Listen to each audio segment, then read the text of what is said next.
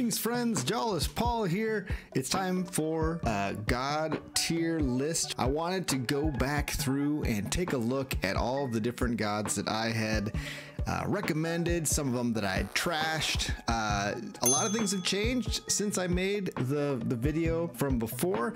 So we're to go through and update that. I'm to try to keep this video under 15 minutes. I won't talk about every aspect of, of the various gods, but I do want to touch on some especially notable changes and maybe provide some more justifications that I hadn't in the previous video. So let's go ahead and get started. Now, I am going to include chaos this time because many people asked me to include chaos. So that's going to be in the video as well. We'll start everything out in B tier as we start talking about it. Now, I do have some notes over here. Aphrodite, uh, I would say uh, Aphrodite, the main problem that I have with Aphrodite actually has nothing to do with her power level or how good she is. Uh, her boons are just kind of boring uh, for the most part. And there are a couple boons that she provides that that actively make some of her abilities worse. One of them being the blown kiss uh, modifier to her cast actually sometimes messes with the hitbox of her cast. Um, and her cast is good, but it's very short range, so it's got limited uses. Although it does have some very powerful uses, and it's very strong, you could say. But overall, I'd say I've I've grown less excited about her and and what she provides. The damage reduction is good, but generally in a game like this, you want to avoid damage altogether, and just a reduction of damage doesn't exactly do it. Back in the day, she used to be 50%, and then they nerfed that down to 30% damage reduction. So that combined with a fairly lackluster legendary uh, ability. I guess I'm lowering Aphrodite quite a bit. I'd put her in C tier now. I don't know. I might change my mind about that by the end of the video, but for the most part, there's a lot of things uh, that she just doesn't provide a whole lot of value for uh, in a build, and I'd rarely, rarely seek her out or take her anywhere anymore. Yeah. All right, next we've got Ares. Ares, uh, the the main problem with Ares, I got a lot of hate for for how I treated Ares. The main problem with Ares is that he's split between two main ability types. He's got his Doom damage and he's got Slicing Shot or the the Blade Rifts. And so you've got boons that boost the Dooms, and you got boons that that boost Blade Rifts. Now Doom is very good. Blade Rifts are very good. Some of my favorite abilities come from Ares, but the fact that you have to you have to kind of choose one and avoid the others. It's a little bit awkward, I guess. Um, very good damage.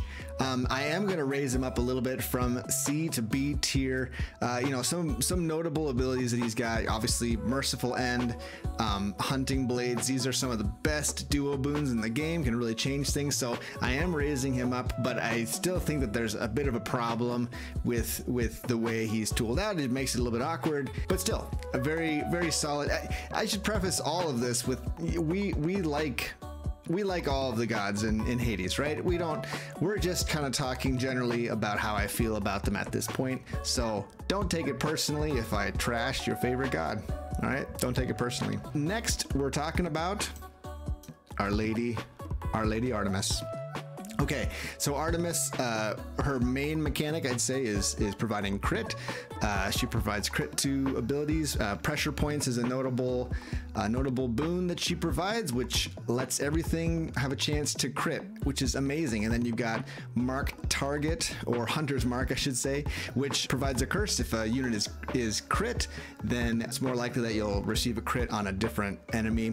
And so if you've got two enemies next to each other or in the same area, you can get lots and lots of crits um, very quickly. Artemis, I'd say, provides a ton of damage, and pressure points, I think by itself does a whole lot to to boost any run. So I pick up Artemis a lot. And I think that she's used in a lot of really good builds. She's got a very excellent legendary if you're going for a cast build. I've raised her up to A tier. She's she's way up there now, I'd say. Uh, just a lot of value, a lot of good comes out of Artemis. All right, Athena. I'll, I'll, say this about Athena. She doesn't provide a whole lot of damage. Uh, damage is not the reason that you might like to take Athena.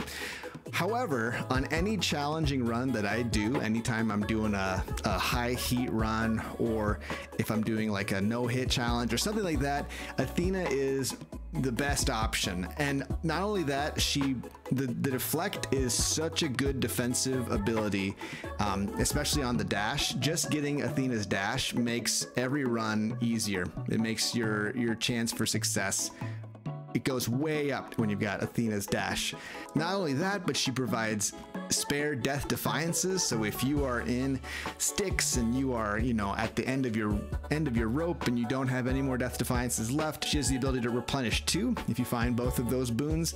And she's got an ability that makes traps deal less damage. And if if you don't know, the the pots or the urns that pop up in the Hades fight, those are traps. And so sometimes those are the most damaging things that you hit in, in that fight against Hades. So I put her up in S tier. Okay, I I had her in S tier before, and I am having her in S tier again because doggone it, she's she belongs up there. Is is she the one that's going to provide all the damage in your run? Probably not. But that's why you pick up other gods as well. But I just think no one else does what what what Athena does. No one else provides that kind of value. So I have to put her way up at the top. She just does a lot for every run that she is in. I, I think those are the main notable things that I that I look at. Her call also is amazing. It's basically invulnerability. You get invulnerability for a period of time, and you can use all of your uh, attacks and abilities. And so you'll often end up doing a lot more damage because you don't have to worry about dodging hits and that kind of thing. Demeter, she provides chill, so slowing enemies. Her damage is pretty good, like her percentages are pretty decent. She changes the cast into a into a laser, which a lot of people really like. I feel fairly good about it. It's fun. It looks cool, but I'm not sure how powerful I think it is. I go back and forth on that one, I guess. Chill is, you can get 10 stacks of chill, which is phenomenal. That slows down enemies a lot. I think a lot of people undervalue chill as a curse. You have to get quite a few stacks before you really start to see the game starts to get a lot easier, but I think that it's it's pretty solid. The the only problem I'd say with Demeter is that she has some pretty mediocre duo boons. I'd say some of her duo boons even make a lot of things worse. So, like if I'm doing a slicing shot build, maybe I'm going for hunting blades. I don't want Demeter in my run because she'll she'll mess it up and she'll make it so I can't find hunting blades because of her icy vortex duo boon. So I put Demeter in the B tier mostly for that reason.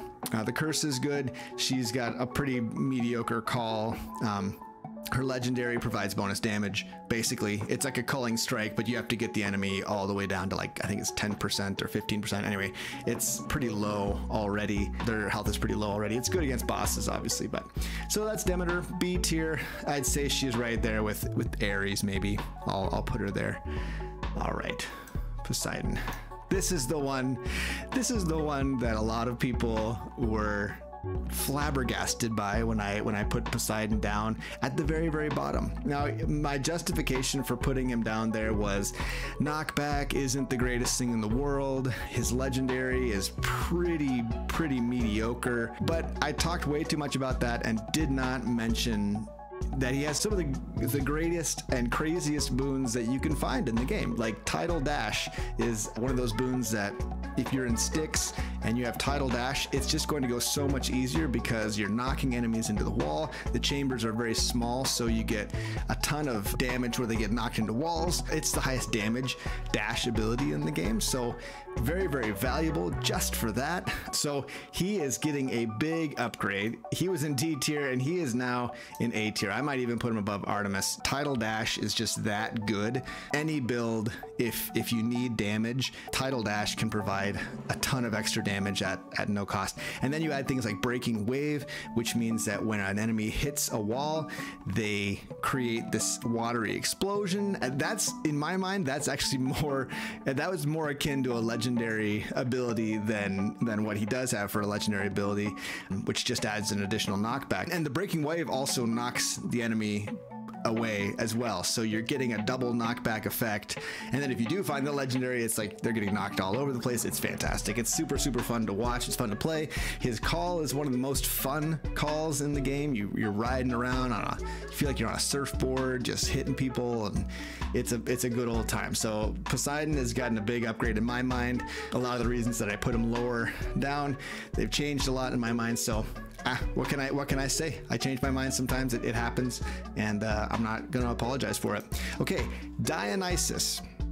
Dionysus has got some solid, some solid boons. He's got a cast uh, that creates festive fog, which staggers enemies sometimes, which is pretty good. His poison, or his hangover, I should say, his hangover can do decent damage, and it's a nice like set it and forget it. And if you've got like fast attack speed weapons, that can be pretty good. But I would say that a lot of his secondary boons aren't super great. He does have strong drink, which is another very top tier boon, I would say, for any run. Kind of can be a saving grace if you're finishing a fight and you're just, you've got a sliver of health. It's really nice to drink from that fountain and just be completely healed back to back to 100%. I you know, I kind of struggled with this one a little bit, but I'm going to leave him in B tier. I think that he's solid in the same way that, that Demeter and Ares are solid, but doesn't do as much as, as you would hope that he does. And a lot of those builds that are centered around him aren't as amazing as maybe they could be. Okay. Hermes.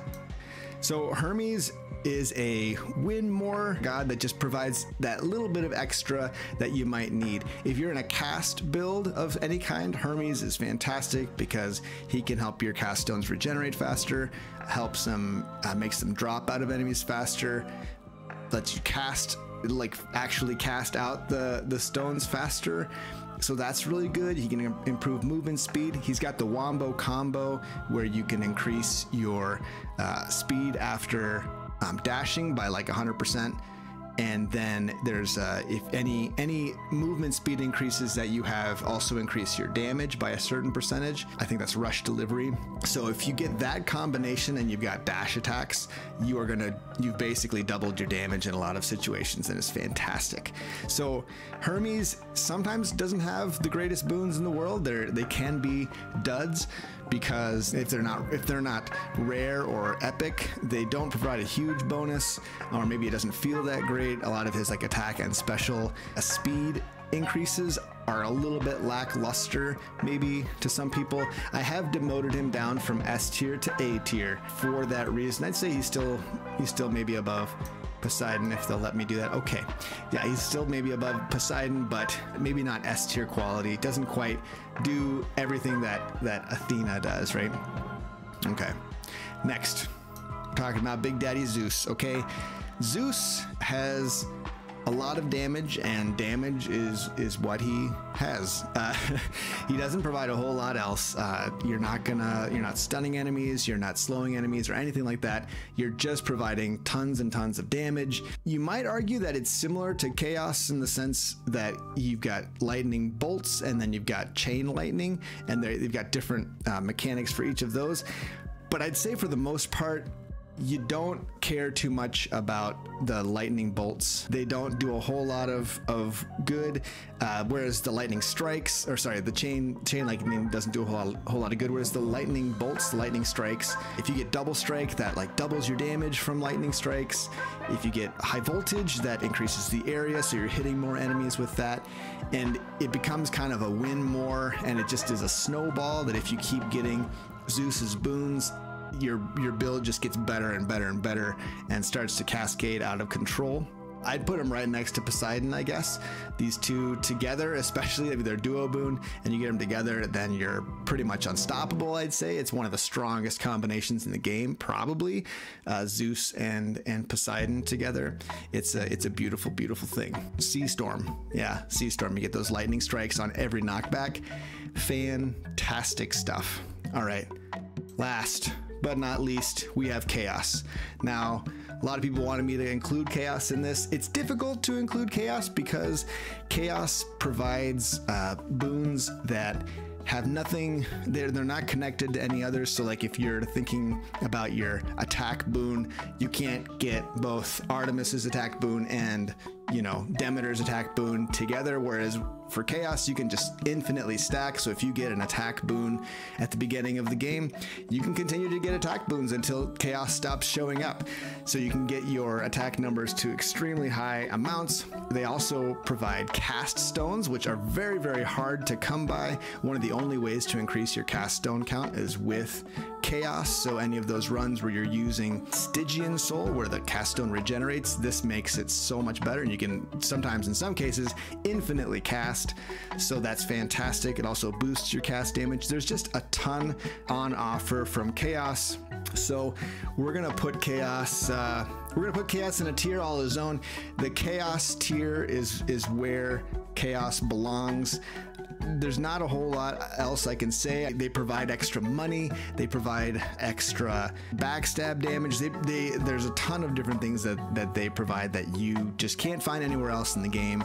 Sure, you have to take a little bit of damage going into their realm.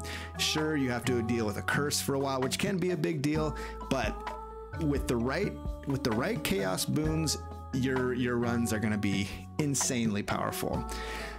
All right, friends, that's gonna do it for my new tier list, my new Hades God tier list. What do you think? Did I get it right? Did I get it wrong? Should I stop making these videos altogether? don't, don't, uh, don't hate too hard here. But yeah, this is what I think. I, there's nothing in D tier anymore. I wouldn't say this probably represents the spread for for what boons I take or how I how I take them, depending on the situation, of course.